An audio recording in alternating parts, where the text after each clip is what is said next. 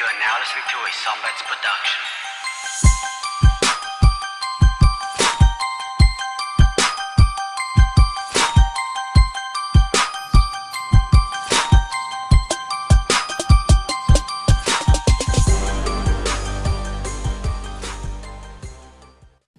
स्वागत है आप सबका व्लॉग में। शुरू करते हैं एक दिन पहले ही कहानी से। मैं बाल उल कटवाया था। बाल उल कटवा के घर पे आके आराम से मस्त सो गया। लेकिन नींद में मेरे भाई ने मुझे उठाया और बोला कि भैया वाईफाई लगाने वाले वाईफाई लगाने आ रहे हैं।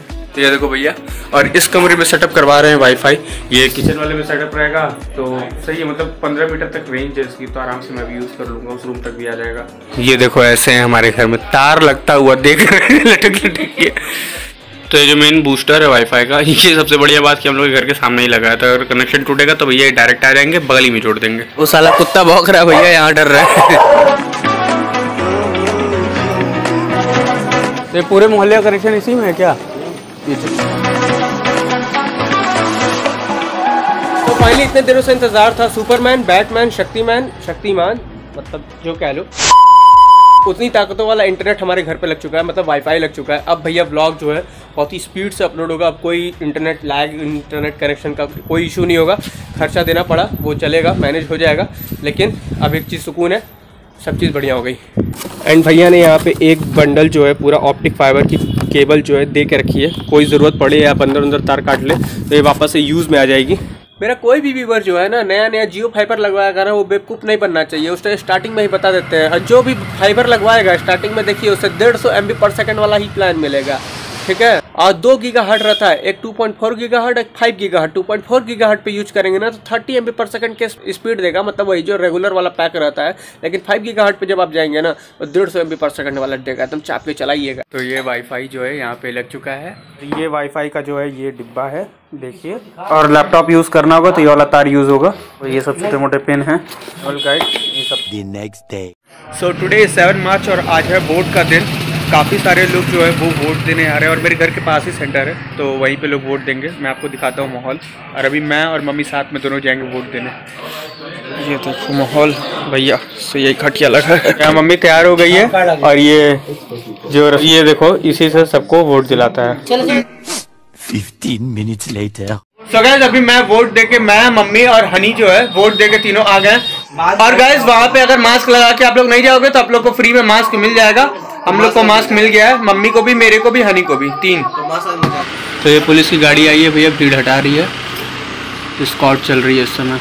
और ये देखो आज के दिन हमारी गली में कितनी भीड़ रहती है भैया। देखो बाइक वहाँ तक लगी है वहाँ तक। और भैया रुक भी जा रहे हैं चर्चा करने के लिए। अपने एस्टीमेट से कौन सी पार्टी जीतेगी? एजप्शन कर रहे हैं बैठ के।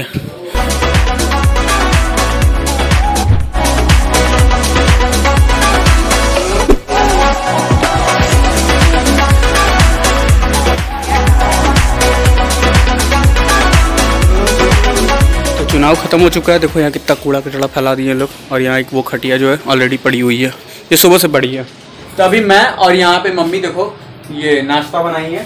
तो बहुत दिन बाद, ये मेरा वन ऑफ़ द फेवरेट नाश्ता है। ये देखो, रोटी को जो है मिक्सर ग्राइंडर में मिक्स कर दिया जाता है। टमाटर प्याज और मटर से फ्राई कर दिया जाता है इसको।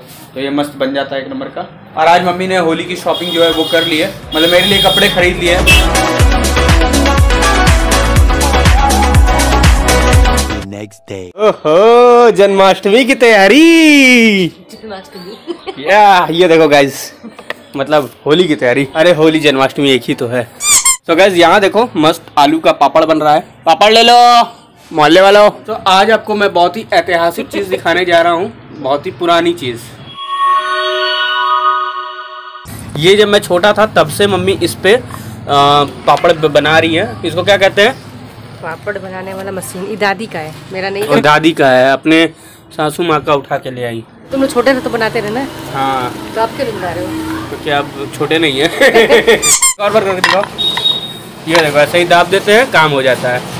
और ये बन जाता है पापड़। लेकिन इसमें बस एक डिसएडवांटेज है कि एक बार में एक ही बनता है। इस वजह से टाइम बहुत ज़्यादा लग जाता है। लेकिन बड़े बड़े पापड़ बन जाते हैं देखो। ये देखो यहाँ पे जितनी भी चीज़ यूज़ हो रही है ना सब घर की है। ये जिस प्लास्टिक से मम्मी निकाल रही है ना वो भी साला पतंजलि का प्लास्टिक है। ये दिखाओ पतंजलि सरसों तेल का प्लास्टिक है। इसको रीयूज कर रही है सरसों का तेल आलू।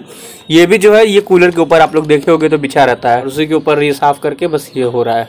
तो घर का नहीं रहेगा तो क्या मांग मांग खिलाएँगे? अभी जैसे जैसे होली आ रही है वैसे वैसे कार्यक्रम बढ़ता रहेगा आगे। अभी तो गुजिया बनने वाला ही प्रोसेस बाकी है। खुरमा बनने वाला ही प्रोसेस बाकी है। नमकीन नमकीन भी बनेगा। मैं भी इंतज़ार कर रहा हूँ कब खाने को मिलेगा जल्दी जल्दी सब खाने को मिलेगा बनाने को नहीं। सहयोग क्या करोगे? सहयोग देख रहे हैं यहाँ पे ब्लॉग बना रहे हैं तुमको प्रमोट कर रहे हैं कोई ज़रूरत नहीं है सो गाइस एक किलो पापड़ के लिए मम्मी से संपर्क करें। नंबर यहाँ डाल दे तुम्हारा पापड़ की डिलीवरी लोगी। को पापड़ चाहिए तो मम्मी को कॉल करें। मम्मी माधवी भाभी है माधवी भाभी।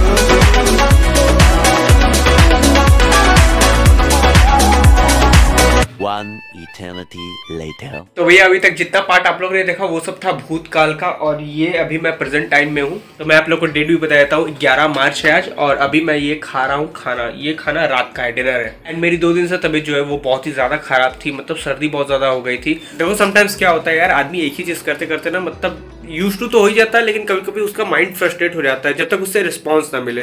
तो मैं ब्लॉगिंग बहुत समय से कर रहा था। नवंबर, दिसंबर, जनवरी में शायद मैंने तीन महीने लगातार ब्लॉग किए, लेकिन कुछ अच्छा रिस्पॉन्स मुझे नहीं मिल रहा था। इस वजह से थोड़ा सा अपसेट फील कर रहा था, लेकिन और भी चीज़ों में मैं थोड़ा सा खोया था। आने वाले फ्यूचर ब्लॉग्स में शायद मैं आप लोग को कहीं और दिखूँ।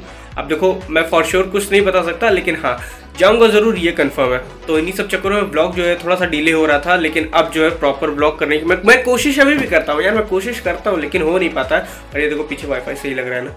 ये गरीब की झोपड़ी में वाईफाई क्या भैया जी? ये भाई मैंने अपना रखा है नाक पोछने के लिए।